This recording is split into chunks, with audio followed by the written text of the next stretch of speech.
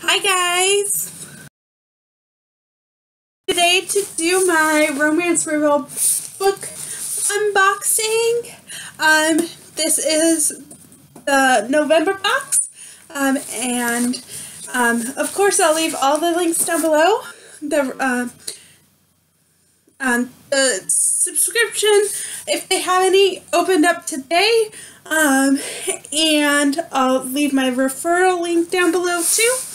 So let's get on with it. So I get the big box, and that is four books and some swag, and it's um, with shipping. It's $49.90, and so we have the peel and reveal sticker,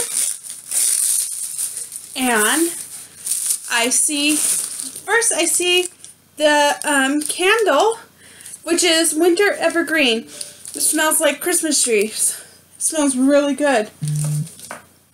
And then I have the swag. So let's see.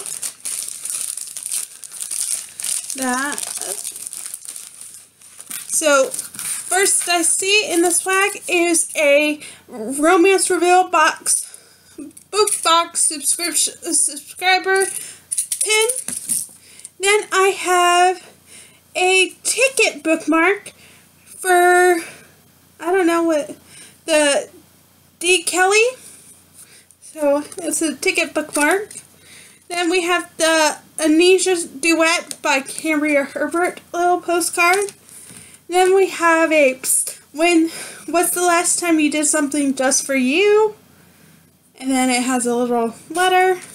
Then we have a romance reveal book box, um, account login and password little thing. And then an F, um, FAQ quick guide. And then we have our coloring page for Tab, uh, Tara Sivec.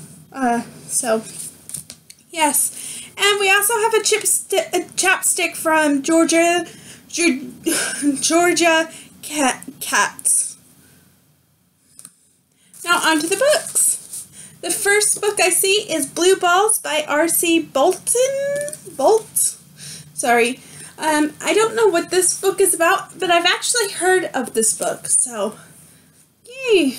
And then enjoy the final release. And it's signed.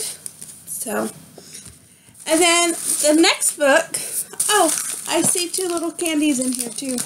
But the next book I see is How to Date a Douchebag, The Failing Hours by Sara Ney. Um, and I actually have this book already personalized to me, so this will probably be in a giveaway. Um, and it's signed. Um, this is the second book in the Douchebag series, but they can be read as standalones. Um, I read this earlier this year and gave it 5 out of 5 stars. Really enjoyed this book. This is um, Zeke's and Violet's book. And yes, new adult um, sports romance. And then there's two candies. Mints, I'm gonna guess. Then we have a Warrant Warranted Pleasures by Shannon Nemchick. Sorry, that was really bad. Um, and it's book one, and it looks like a um, military romance. Um, and it says hooray, and then signed. Um, so, yay. And then the final book I got is for Forget Me Not by Willow Winters. Um, so, yes. And then it's signed. And those are the four books I got this month. I'm looking forward to it. I've actually think I've heard of Willow Winters.